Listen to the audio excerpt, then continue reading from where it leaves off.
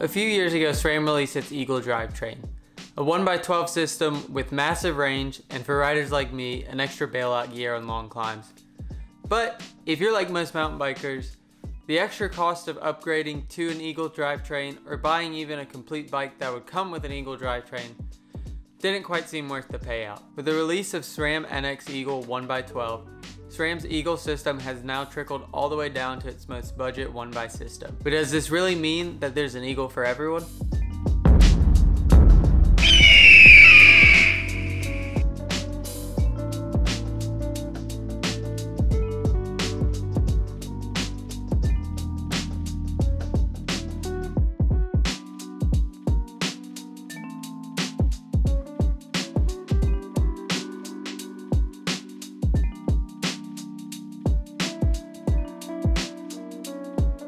If you've kept up with some of my other videos, you've probably seen that I recently sold my Specialized Enduro, and I'm now waiting on a Santa Cruz Hightower LT.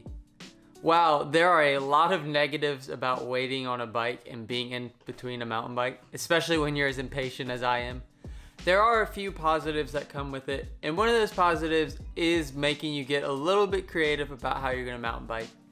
This has led me to a lot of opportunities to try and ride different mountain bikes. One such bike has been the 2019 Santa Cruz Hightower R build, which actually comes stock with SRAM NX Eagle as the group set on it. I'll get into my review and how I feel NX Eagle actually performed out on the trail in a little bit, but first I kind of want to talk about where I think NX really slots into the SRAM drivetrain lineup. The easiest comparison to draw for NX Eagle is to that of GX Eagle. And if you look at the drivetrains, they're actually really similar. For example, the SRAM NX Eagle shifter costs $42, while the GX Eagle shifter is a mere $3 more at $45. And beyond the fact that you got GX stamped on one and NX stamped on the other, I really can't discern a very big difference between the two.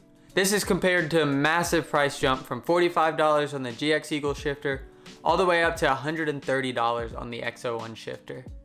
Now as a quick side note, the X01 shifter is decidedly different than the NX and GX shifters, but we'll talk a little bit more about that later on. The trend in price similarity continues, with the NX derailleur costing $107, while the GX derailleur is $125. The main point I'm trying to get at though, is looking at these first few components, is there really any big benefit to the addition of NX Eagle? I mean, GX is already a massive price saving from the cost of X01 Eagle, and you're only looking at marginal price gains when you switch to NX from GX. Well, the thing is, NX Eagle's true place in the lineup doesn't really become apparent until you look at the cassettes. Now, part of this again is the price. The GX Eagle cassette is $215 compared to a much cheaper $100 for the NX Eagle cassette. But it goes beyond that. The NX cassette is also fundamentally different from every other cassette in SRAM Eagle's lineup. Instead of using a SRAM XD driver, it uses a standard splined free hub body. This means wheels with lock ring cassettes, which includes most older and cheaper wheels, as well as wheels that were using Shimano drivetrains up until this newest version of XTR, are now compatible with that NX cassette. A big difference you'll notice right off the bat between the XD driver cassette and the standard cassette is those cassettes on the XD driver will actually be a single piece. Whether it's machined that way like the X01 cassette or it's separate pieces that have been pinned together like the GX cassette. The NX cassette, on the other hand, is multiple pieces that line up to fit on the splined freehub body. With this being the case, the NX cassette is also only compatible with splined freehub bodies and not XD drivers. In still having a lock ring on the NX cassette, the smallest tooth count is a little bit different than on the XD driver cassettes. You have an 11 to 50 tooth range as compared to 10 to 50 tooth range, so you do lose out on a tiny bit of range there on the high end of the cassette. Before the NX cassette, you needed an XD driver to use SRAM Eagle group sets.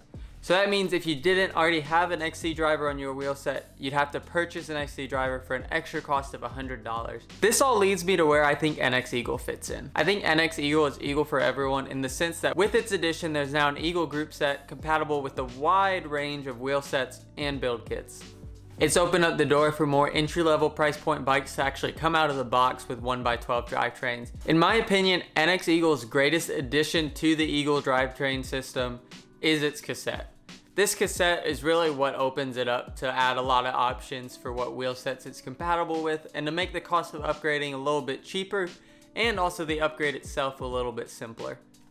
I think if you have a wheel set that already has an XD driver, you're probably better off if you're looking for the more budget into things to just go with the full GX Eagle group set.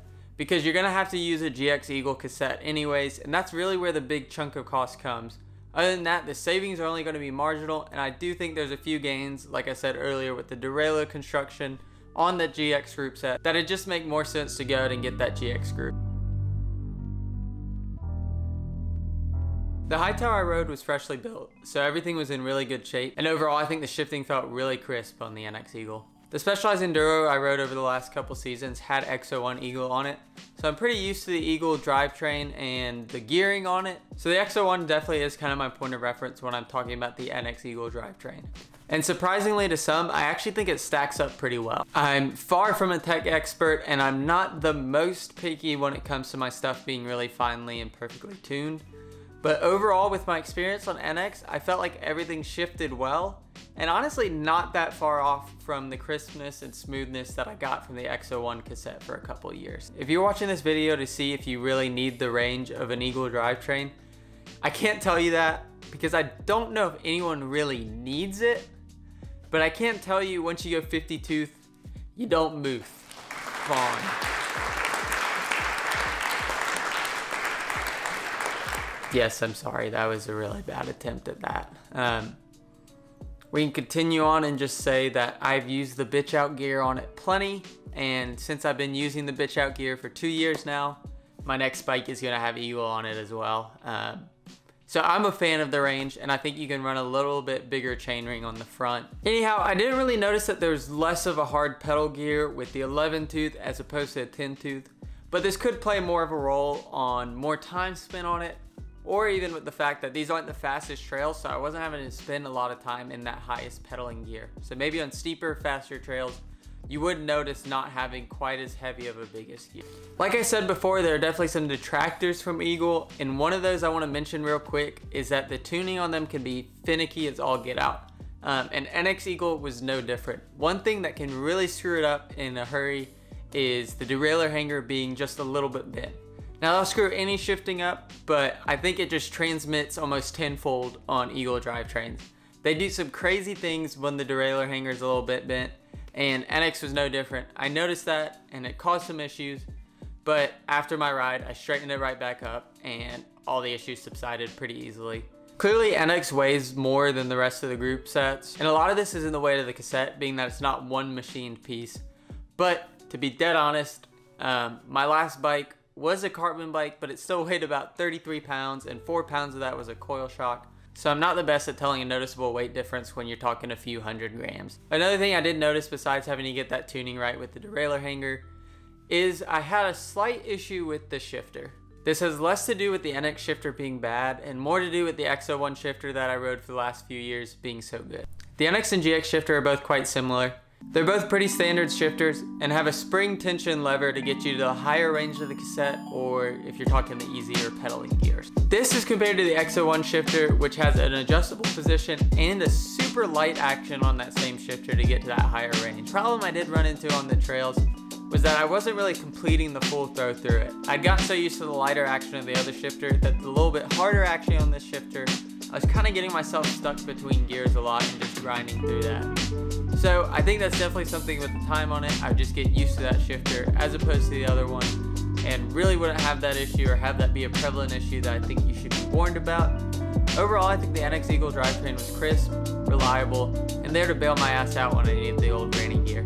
I think NX Eagle is a good step for SRAM in opening the 1x12 drivetrain to a wider range of riders and a wider range of build kit. If you're not interested in 12 speed, of course I don't think it makes any sense for you to ride it. But if you're looking at getting into a 12 speed group set and want to save a little bit on the money and save a little bit on wheel swaps if you don't already have an XD driver, I think NX Eagle is a great option. If you like this video, let me know with a thumbs up and think about subscribing if you want to see more.